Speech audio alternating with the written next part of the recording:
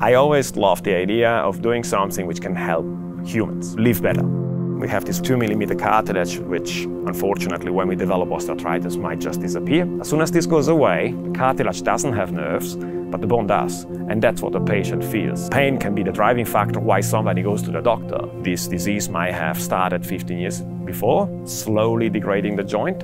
End stage osteoarthritis, unfortunately, there's not much that can be done. Typically, it's too late. Hi, I am Egon Perilli, Associate Professor in Biomedical Engineering. Both osteoporosis and osteoarthritis I can investigate with biomechanical testing and um, micro-CT imaging. Can we identify patients from the way they walk, combine it with bone density, with the possible development of osteoarthritis or not down the track? If we can identify early on, it might be much easier to delay, if not avoid surgery. Doing a PhD, in my opinion, is at least three things. A good scientist, a very good writer, and a performer. Being just smart and not being persistent is not enough. Where I see me fitting in this is to take them and make them excel.